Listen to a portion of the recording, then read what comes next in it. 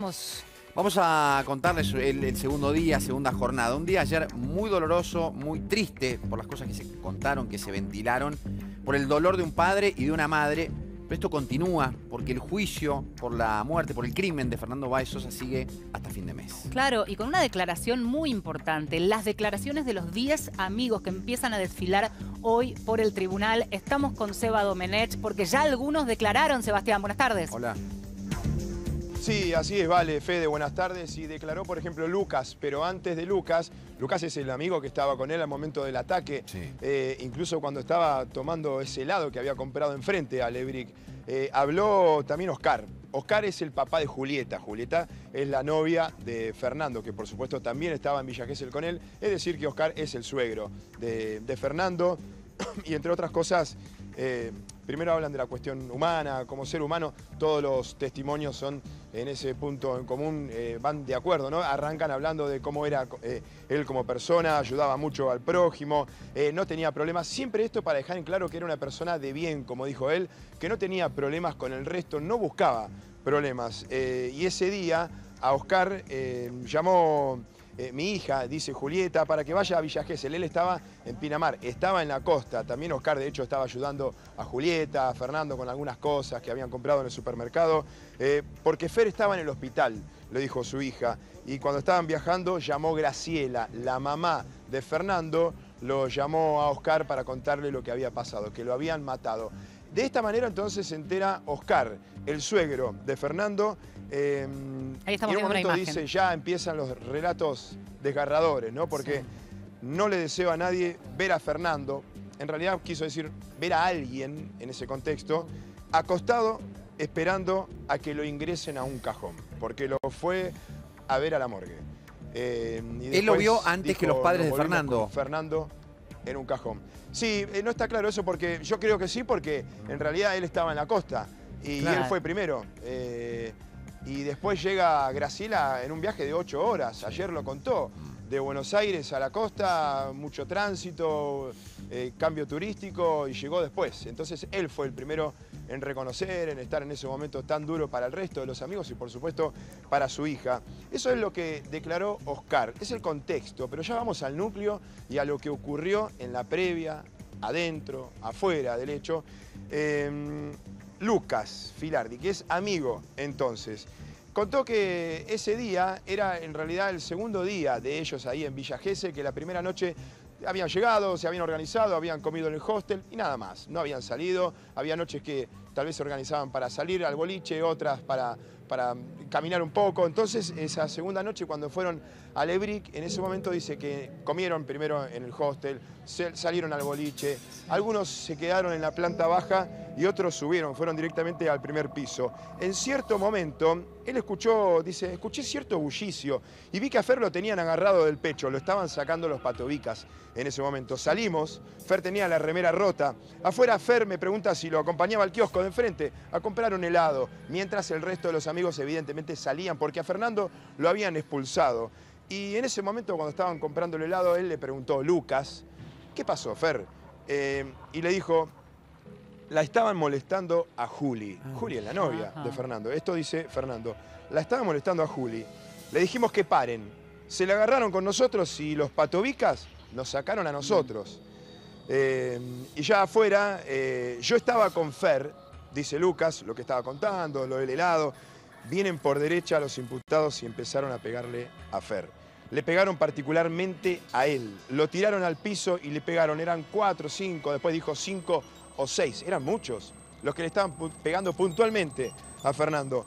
El resto le pegaba a otros chicos, dijo. Claro, a él, al resto de los amigos, el resto de la banda de los Rabiers. Ninguno se lo esperaba. Les decíamos, che, por favor, basta. A mí también me pegaron y me tiraron contra el capó de un auto. Fueron dos minutos y medios aproximadamente, pero se hizo eterno. Ahí lo veíamos Fueron recién a- Lucas, eh, este, patadas en el pecho. Mm. Sí, sí, sí. él, eh, en un momento vos sabés que le dieron un puntero para señalar en una pantalla grande a cada uno de los protagonistas, Ajá. a los atacantes, a las víctimas. Lo fue identificando de esa manera. Fueron patadas en el pecho y en la cara las que le dieron a Fernando. Puedo identificar a quienes le pegaron a Fernando por las caras. Le pegaron directo a la cara. Un golpe muy fuerte. Fue un golpe repentino, al momento de describir el momento del primer golpe, el ataque inicial. A este testigo, eh, en realidad, lo que le hicieron no solo eh, declarar, obviamente, la previa, lo que pasó durante y el después, sino también identificar a cada uno de ellos. Con el puntero, el video, los videos que fuimos conociendo durante la instrucción, los volvieron a reproducir en este debate. Y en un momento, burlando, le dice, hace un croquis. Él pide la palabra, hace un croquis. Queremos entender cómo es la distribución de cada uno de ellos y el lugar, en realidad, porque fue enfrente a Lebric. Él hace un croquis, se acerca con el dibujo al tribunal y de un lado Tomei, del otro lado burlando y explicándole cara a cara a los tres jueces. Eso lo veíamos de lejos. Una reunión en pleno debate para explicar dónde estaba cada uno de ellos. Fue muy fuerte verlo a Lucas tirándose al piso del tribunal, de la mm. sala de audiencia, simulando ser su amigo, su mejor amigo, simulando ser Fernando. Se arrodilló porque esto lo hizo ante un pedido de Fernando. Tomei, Fernando burlando, ante este movimiento que hace Hugo Tomei, el abogado de la defensa, que, era, que no era. Eh, que no correspondía. Todo eso, que no, que no, Entonces se oponía a ese movimiento. Claro. Eh, y le dieron lugar, en realidad, a ese movimiento. La presidenta ah. Castro del tribunal dijo que estaba bien. Y entonces siguió con esa reproducción de los movimientos de su mejor amigo, se tiró al piso, se arrodilló y después simuló la patada del atacante de Thompson, en este caso, como él declara, Thompson, habla de Ciro Pertosi, él los habla de Lucas en un momento, él fue diciendo, habla de todos. No los conocía por, por nombre, pero... No fue señalando, sí, no lo fue señalando, no se podía dar vuelta, pero sí mirando los videos, y este por la ropa y por la contextura, yo creo que era tal, sí, es tal, y, iba identificando de esa manera, iba armando ese rompecabezas, por eso burlando le dice, hace un croquis. Eh, y hasta le dice, tírate al piso. Cuando Tomei no quiere con eso, burlando, ¿qué es lo que dice? Desde el principio del debate queremos ser transparentes y concretos y precisos en cada movimiento. Por eso le pido, aunque duela, que él lo haga. Y él no tuvo problema, él dijo, lo voy a hacer. Se tiró al piso, levantó la mano como si fuera Fernando y todo eso fue reproducido también con... Ahora, sí, Sebastián, con los videos. Quizás ninguno de los otros amigos, como si Lucas, eh, puede ser la persona que mm, con mayor claridad pudo haber visto lo que pasó en ese momento? Quizás Lucas fue el, testigo hay un momento directo de todo. El único. Yo creo que es el más importante. principal, Y sí, es el más importante porque está con él cuando sale Fernando. A él no le echaron, él lo siguió a Fernando. Fíjate lo que era Fernando como amigo. También como líder, te diría, espiritual en este caso, no líder por la fuerza, como el otro lado, como están describiendo a Thompson, sino un pibe que se hacía querer, que se había ganado a sus compañeros en primer año, era nuevo en el colegio y así fue toda la secundaria. Lo vieron que lo agarraban del pecho, que tenía la remera rota, lo sacaron, lo siguieron el resto de los amigos, después estaba la novia. Eh, y entonces hay un momento donde él no puede describir precisamente. Si bien para mí va a ser el más importante de los testimonios, va a haber alguien que va a poder describir mejor el inicio del ataque, porque él dice, yo escuché y lo atacaron por derecha, y claro, él, entre que se da cuenta y todo, ya Fernando estaba en el piso. Yo creo que va a haber otros amigos que van a ver el momento tal vez del ataque, pero en realidad fue una sorpresa para todos. Por eso el ataque a traición, por eso de espalda a las víctimas. Y ellos, por lo que nosotros vemos en los videos, son dos. Él ve un golpe por derecha, pero yo veo otro de los atacantes por izquierda. a Fernando lo encerraron y esto ya lo dijo burlando. Izquierda, derecha. Casi te diría que dan un golpe cada uno al mismo tiempo. Con ese golpe cae Fernando y pegan patadas en el pecho y patadas en la cara. Nunca más se levantó Fernando. ¿eh? Y mientras le pegaban a, eh, a Corvo, Santiago Corvo, uno de los amigos. Y cada uno que quería ir le pegaban. Él mismo, Lucas, dijo, yo quise defenderlo y en ese momento me pegaron, caí arriba del capó de un auto estacionado. Ahí me agarra Corvo, uno de los pibes de, de amigos de Fernando, y me separa, para, para, como diciendo, me salvó la vida a mí en ese caso y ya Fernando estaba inconsciente, querían asistirlo. Y después se fueron pecho inflado, bien arriba, cabeza alta, los rugbyers caminando, esto lo digo porque lo vimos en el video, mientras le tocaban el pulso a Fernando los amigos y después llegaba un policía y alguien que no era conocido del grupo, que los veía y veían que no tenía pulso. Eh, Sebas, ¿pudiste ver la actitud, alguna expresión de los acusados mientras este amigo relataba esto que vos lo estás contando y es muy fuerte, ¿no? Imaginarse esa situación. Sí, sí, sí, sí. Sí, pero no se vio nada. ¿Por qué? Porque no demostraron absolutamente nada. Nada. Desde el primer día, desde ayer, que están, claro, tratando, yo creo que es una posición que ellos están tomando, una postura, eh, la de no demostrar. Eh, ayer Burlando los dijo en nota, ellos no están en este juicio, están como distantes, quiso decir, como que ante el desgarrador relato de Graciela y Silvino, los papás de Lucas, de Fernando, y ahora el relato de Lucas, ellos no demuestran demasiado. Por un lado, eh, también es normal porque no es novedad para ellos todo esto, no solo porque son los que cometieron el caso, sino ya lo vieron en la instrucción. Eh, tuvieron tiempo de declarar, no lo hicieron, pero ya saben cuáles son las pruebas en su contra. No es noticia, no es sorpresa, sí para nosotros que fuimos viendo la distribución exacta de cada uno de los protagonistas. Hace un ratito se dio un cuarto intermedio, Sí. una pausa, un descanso para cada una de las partes y recién acabamos de hablar con Fernando Burlando, que de esta manera nos cuenta su balance de esta primera etapa de la segunda audiencia. A ver. Creo que el tribunal preveía que duren menos las declaraciones, pero van a ser declaraciones así todas las de hoy. Contundentes porque fueron señalando, incluso Lucas fue señalando a cada uno de los imputados y distribuyendo bien a los protagonistas en la mecánica. Yendo roles y, y aparte eh, muy contundente cuando representó el, el modo y la forma en que lo agredían a Fernando, ¿no? representando él con su cuerpo las patadas, el pisotón y, y los golpes de puño. Al menos burlando tres menciones hubo hacia Máximo Thompson, eh, contamos. Sí, sí, varias, varias, varias. ¿En sí, qué circunstancia varias. lo ubica? Eh, uno de los que golpeó y pateó. ¿eh? Eh, fundamentalmente, a ver, él recuerda cierta, cierta- ciertas partes de, de la agresión, se le exhibieron todos los videos y cuando se le exhiben los videos obviamente se ven mucho más, mucha más gente agrediendo a Fernando que, que la de- que, que describe él, pero el testigo, bueno, es, es su sensación, es lo que pudo percibir a través de sus sentidos. Además habla de cinco o seis atacantes. Escuchó mucha, mucha agresión también, o sea, el ruido eh, era de, de un malón. ¿eh? Y esta mención de vamos a pegarle, que era una arenga que decía Sí, Lucas. sí, sí, eso también, y eso lo vinculó a uno de los imputados, Comel, inicialmente en reconocimiento en rueda de le personas. pareció demasiado la representación, como que fue ¿A quién? exagerado, a Tomei. Eh, te- te- no- no- no- pe- nunca estuve en un juicio oral, entonces. Fernando, Puede ¿cómo ser. ¿Está perdiendo un poco el hilo? ¿Que se sacaran los barbijos? Para Todavía no, para no fue necesario, no fue necesario porque la memoria de- del testigo no daba como para este, que los identifique tal vez en la sala. Ahora Pero lo vamos a hacer ahora. de hoy. ¿Cómo continúa?